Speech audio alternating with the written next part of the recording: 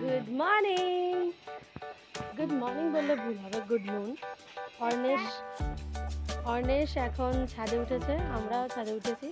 আমার চান টান করা হয়ে গেছে, আর সেই কারণে চুলটা শুকাতেও উঠেছি, যদিও রোদ্দুর নেই, তাও একঘেয়ে ঘরের মধ্যে বসে থাকতে থাকতে ভীষণ বোর হয়ে গেছি, আর খুব বিরক্তও লাগছে। ঘরের মধ্যে ওয়ার্ক ফ্রম হোম চলছে, কথা বলা মুশকিল সাউন্ড গেলে মুশকিল চলাফের চলাফেরা করলে মুশকিল ফোন জোরে আসলে মুশকিল।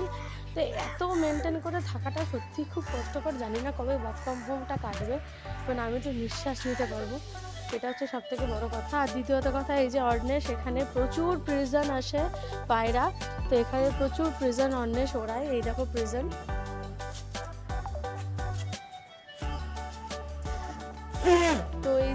অর্ণেশ সারাক্ষণ প্রিজন উড়িয়েই যাচ্ছে।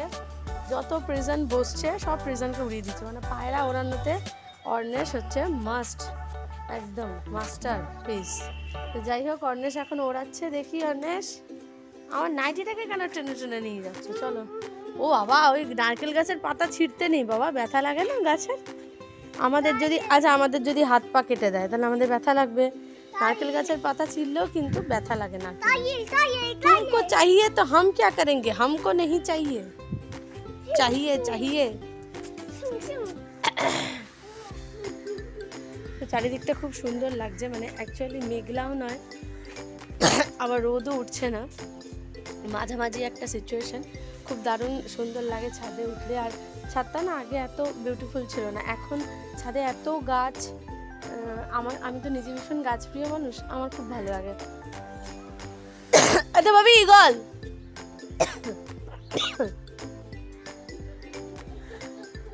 ওদের ইগল ইগল ইগল দেখ। ওদের ইগল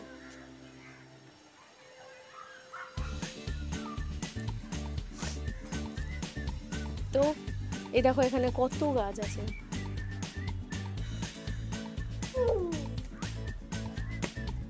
আর এই গাছের ফুলটা দেখো কি সুন্দর হতে হয়েছে।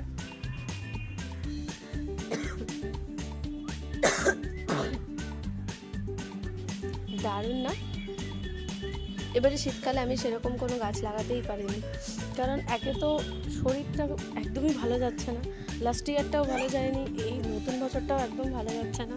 প্রথমত, দ্বিতীয়ত হচ্ছে যে ঠিক মানে এনার্জি পাচ্ছি না। একবার অরিত্র জ্বরে ভুগলো, একবার বাবু জ্বরে ভুগলো, একবার আমি প্রবলেম চলছে তো সব মিলিয়ে ঝুলিয়ে মানে এত মানে এনার্জি লস হয়ে গেছে যে আমি আর মানে পেরে উঠছি এনার্জিটাই লাগছে না একটা কিছু লাগাবো।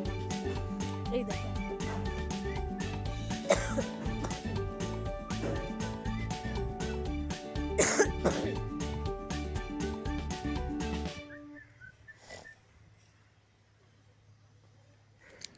আমরা যখন ছাদে উঠেছিলাম, তখন দুটো পায়রা এত সুন্দরভাবে খেলছিল, দেখে খুব ভালো লাগছিল। যেন মনে হচ্ছে একটা পায়রা রাগ করেছে মানে কালো পায়রাটা ছেলে আর সাদা পায়রাটা মেয়ে, একজন আরেকজনকে মারানোর চেষ্টা করছে।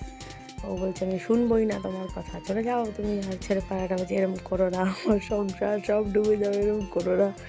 এরকম টাইপের কিছু একটা হচ্ছিল।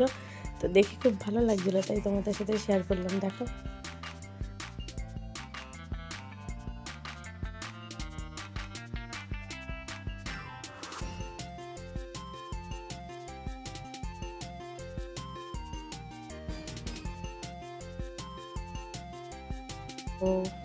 ছাদ থেকে এবার আস্তে আস্তে নেমে আসছি। বিকালবেলা পিঠে বানানোর প্ল্যানিং আছে। তো এখানে আমি চালের গুঁড়ো নিয়ে নিয়েছি, ময়দা নিয়ে নিয়েছি, সুজি নিয়ে নিয়েছি, পাটি সপ্তাহ বানাবো। এখানে সব কিছু মোটামুটি অ্যারেঞ্জ করে নিয়েছি। এরপরে আস্তে আস্তে আমরা পাটি সপ্তাহের দিকে এগোবো। দেখতেই পাচ্ছ, সুজিও নিয়ে নিয়েছি। একসাথে ভালো করে এটাকে মিশিয়ে নিতে হবে।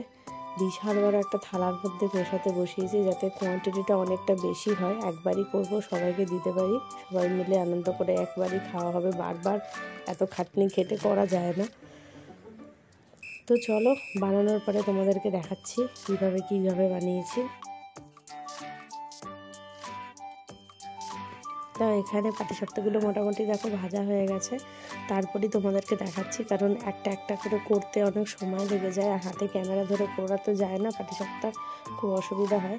তো ভেজে নিয়েছি, কমপ্লিট হয়ে গেছে পাটিসাপ্তা আর এইভাবে মোটামুটি টিফিন কারিতে পোড়া চলছে, একে ওকে তাকে দেওয়ার মানে আমার শ্বশুরবাড়িতে পাঠানো, মামার বাড়িতে পাঠানো, বাপের বাড়িতে পাঠানো, সবাইকে দেওয়ার জন্য টিফিন কারিতে আলাদা আলাদা করে ভাগের পর্ব চলছে।